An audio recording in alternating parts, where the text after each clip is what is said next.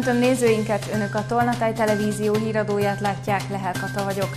Főbb témáink néhány mondatban.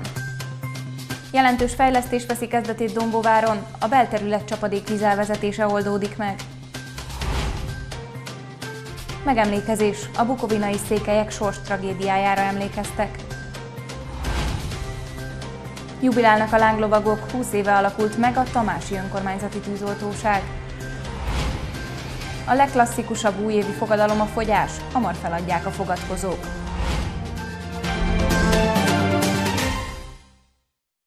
Jelentős csapadékvíz elvezető fejlesztési program indul Dombováron. Az 1,2 milliárd forintos költségvetésű projekt eredményeként három részletben a jövő nyárig elkészülnek a munkálatokkal. A tervezésről már alá is írták a szerződést. Dombovár, Adi Endre utca, a város egyik legforgalmasabb szakasza. Ez a terület, melyen rövidesen munkagépek fognak dolgozni, hogy a csapadékvíz elvezetési rendszert korszerűsítsék. A tervezési munkákról írták alá a szerződést. Azt gondolom, hogy ezzel a lehetőséggel, amit tavaly pályázati kiírás megadott, élni tudtunk és élnünk kellett, hiszen Domváron átszelő Erzsé, Adi Endre utca és Főutca tekintetében tudtunk három darab pályázatot beadni, mind a három pályázatunk nyert, így gyakorlatilag háromszor 400 millió forintból, 1,2 milliárd forintból megépülhet a közeljövőben Dombaváron közel 4 km csapadékvíz elvezető árok. A meglévő csapadékvíz hálózat nem alkalmas már arra, hogy a megváltozott környezeti viszonyoknak megfeleljen. Az utóbbi években olyan hirtelen esőzések érték a várost, amelyet nem képes kezelni a jelenlegi rendszer. Ezzel párhuzamosan felújításra kerülnek még a ezzel párhuzamosan futó járták, illetve még nagyon fontos, és azt mondom, hogy a lakosság ennek fog a legjobban örülni, mindenki egyforma hidat fog kapni, és azonos méretben térköves idon tudnak bejárni a saját portájukra. A beruházás befejezése 2023 nyarára várható. 6524 új koronavírus megbetegedést igazoltak csütörtökön idehaza, ezzel a járvány kezdete óta összesen 1.282.957 főre nőtt a beazonosított fertőzöttek száma. Elhunyt 101 többségében idős krónikus beteg, így az áldozatok száma 39.780 főre emelkedett. 3070 koronavírusos beteget ápolnak kórházban, közülük 291-en vannak lélegeztetőgépen. Oltást eddig már több mint 6 millió 278 ezeren kaptak. Tolna megyében 123 új fertőzöttet regisztráltak csütörtökön, ezzel a járvány kezdete óta 27.058 főre nőtt a megbetegedések száma az országnak ezen a részén. Még most sem késő kérni a térítésmentes influenza elleni vakcinát. Az eddig rendelkezésre álló 1,3 millió adag ingyenes influenza elleni oltóanyag 49,1%-át 638.451 adagot használtak fel január 3-áig. A három év alatti kisgyermekek számára a rendelkezésre álló 4000 adag vakcinából 2539 adag fogyott el, ami csak nem 63,5%-os felhasználási arányt jelent. A fokozottan veszélyeztetettek közé tartoznak a 60 éven felüliek, függetlenül egészségi állapotuktól, a krónikus légzőszervi, a szív- és érrendszeri, valamint anyagcsere betegségben szenvedők, a csökkent immunitású emberek, továbbá a várandós vagy gyermekvállalást tervező nők. Ugyancsak javasolt a védőoltás az egészségügyi és a szociális intézményben dolgozóknak és a tartós ápolást, gondozást nyújtó intézmények ellátottjainak. 1764. január 7-én mészárolták le az erdélyi Madé falván egybegyült, a határőrsorozás ellen tiltakozó csiki székelyeket. A vérengzés a történelembe Madéfalvi veszedelem néven vonult be. Az esemény volt a kezdete a bukovinai székely falvak létrejöttének, majd a székelyek vándorlásának. A történtekre emlékeztek meg Bátaszéken, a székelyek házában. Szalonkából azért ment a tömegnév Madé falvára, de azon ének hajnaláig senki se gondolt a halára. A Madifalvi veszedelem történetével kezdődött a báteszéki székelyek megemlékezése.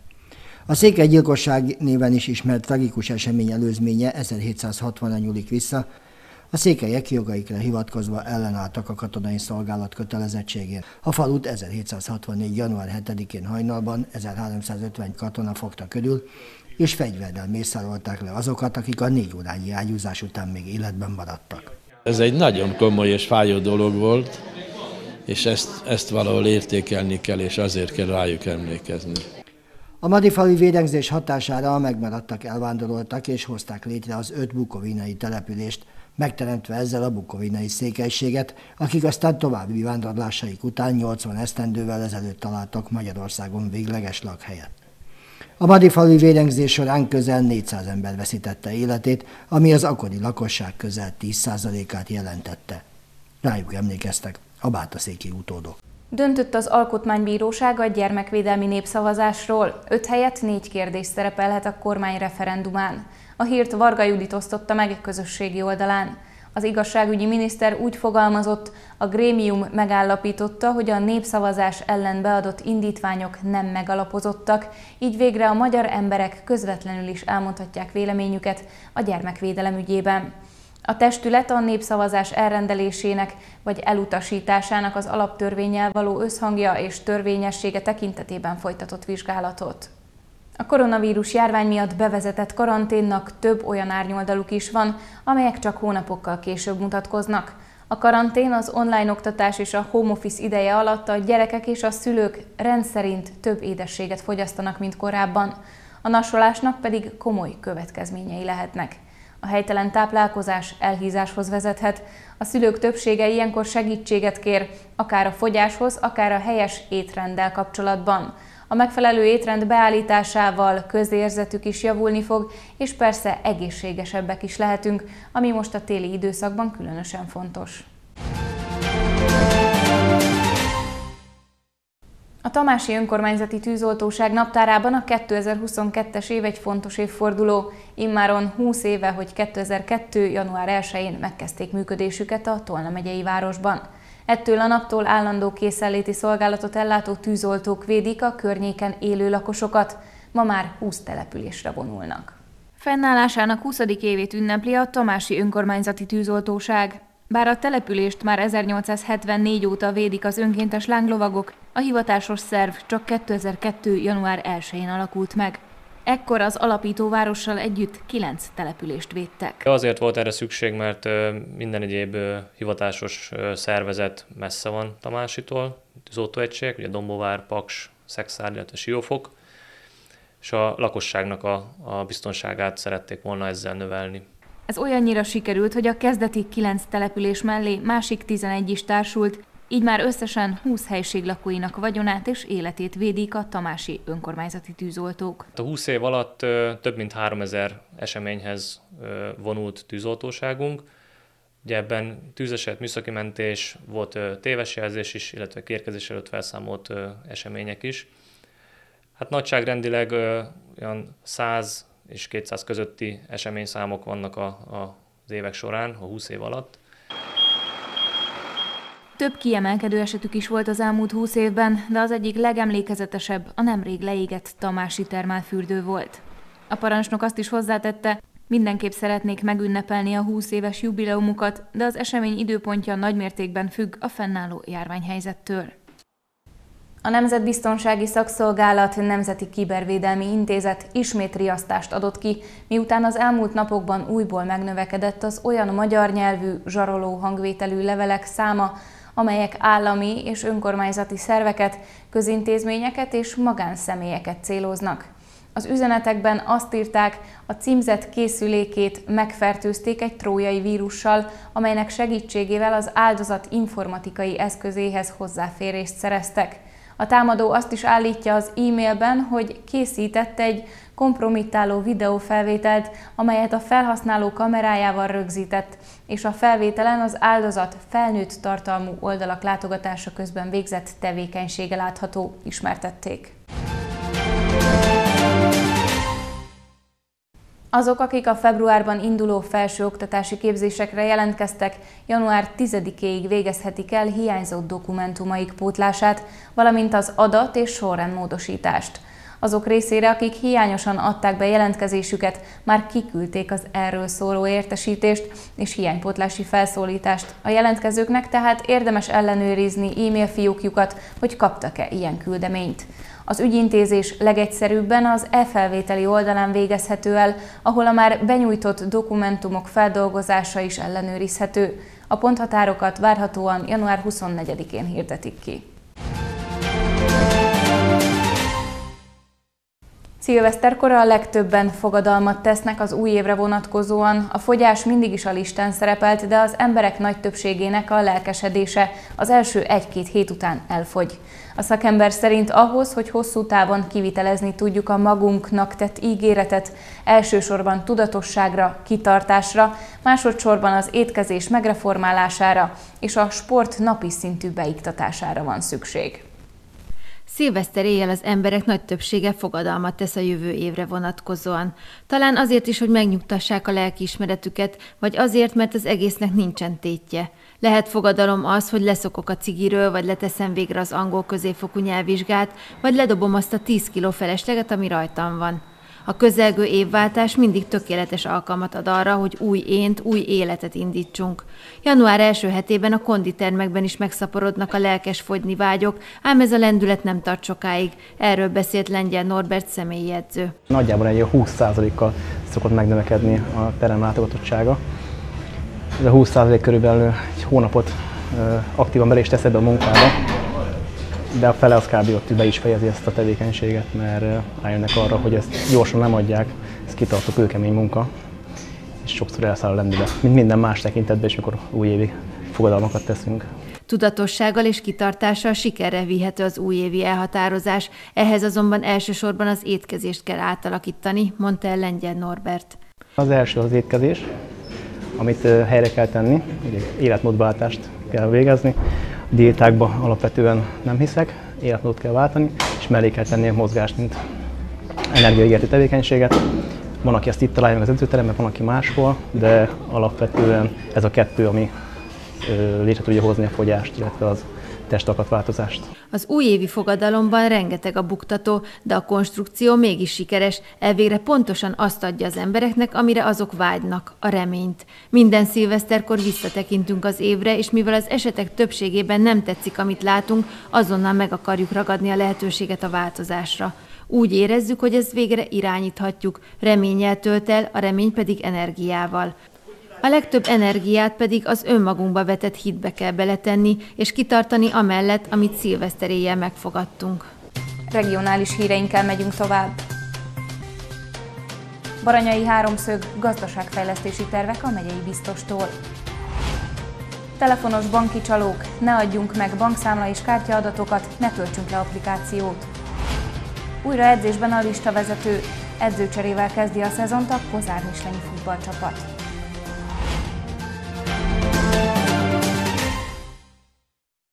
Milyen fejlesztési irányokba indulhat el Baranya megye, hogyan kell növelni a gazdasági teljesítményét, mit vár az idei évtől a fejlesztési biztos?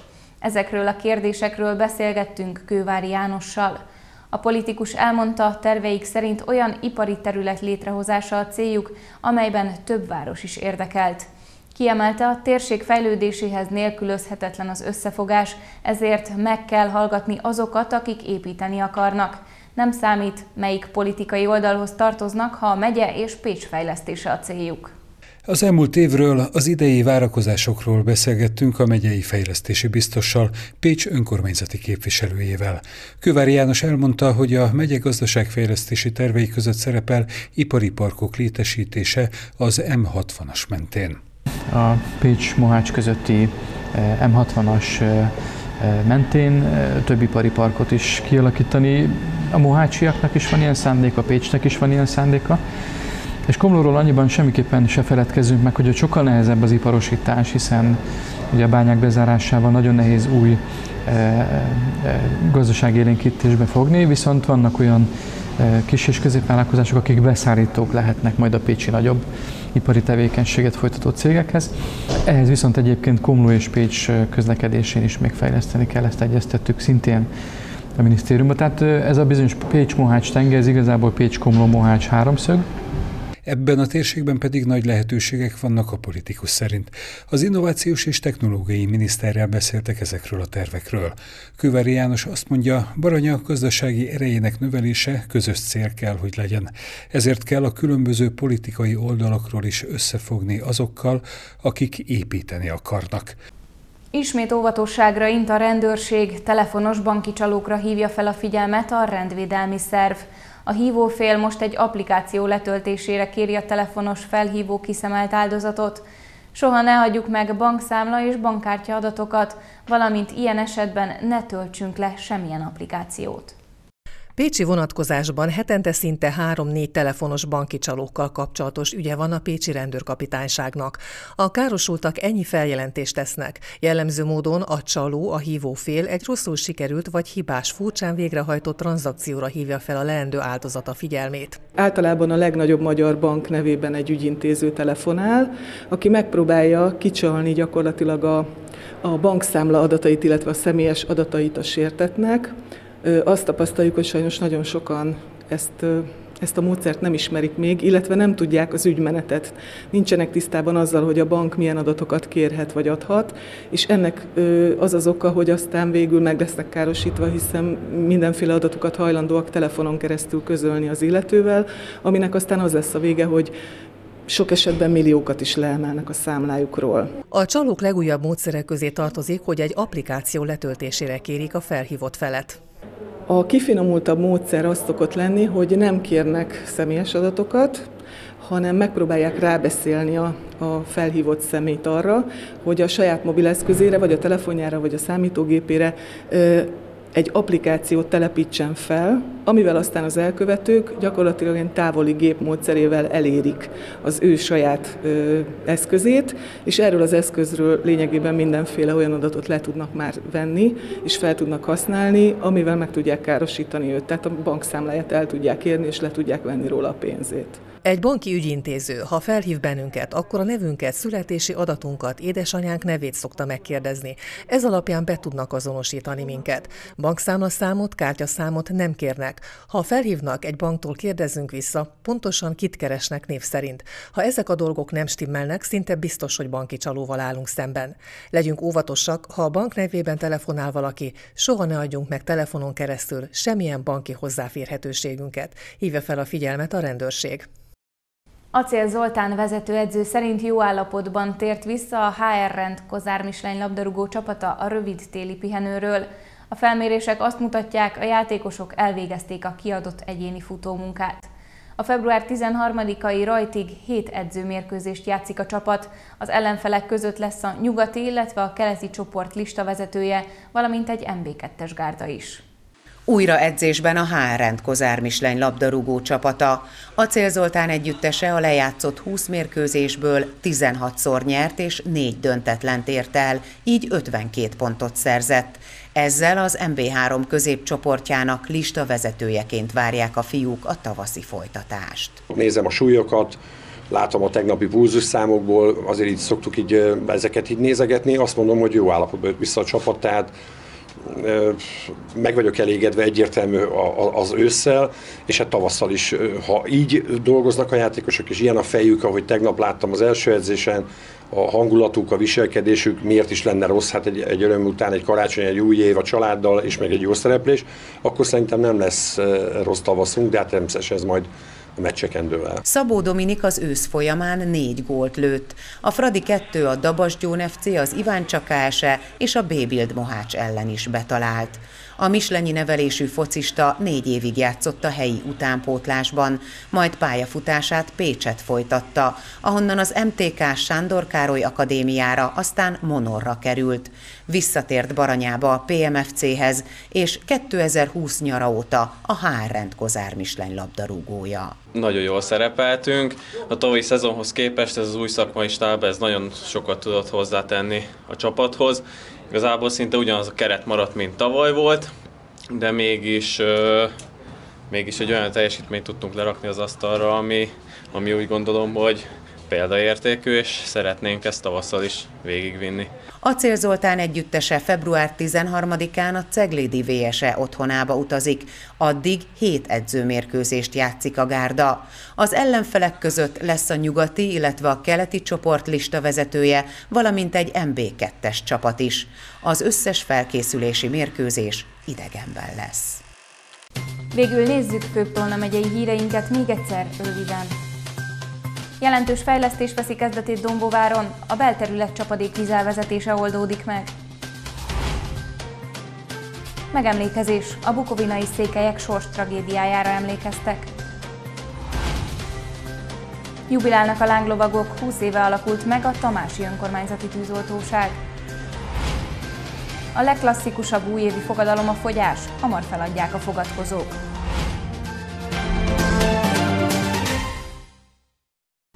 Szombaton nagy részt felhős idő lesz, a délután folyamán várhatóan kelet felé tolódik a csapadék, tovább csökken a felhőzet. Vasárnap is zömében felhős idő ígérkezik, kiterjedt tartós csapadék nem valószínű. Hétfőn fokozatosan vékonyodik, csökken a felhőzet, majd több-kevesebb napsütésben is lehet bízni, erősödő szél támad. Friss hírekkel legközelebb hétfőn este jelentkezünk. Addig is kövessék műsorainkat, illetve keressenek minket a Facebookon, ahol naponta friss hírekkel, érdekességekkel várjuk Önöket. Ha látnak valamit, ami Önök szerint figyelemre méltó, akkor azt osszák meg velünk, hogy másoknak is megmutathassuk. Mára köszönöm figyelmüket, viszontlátásra!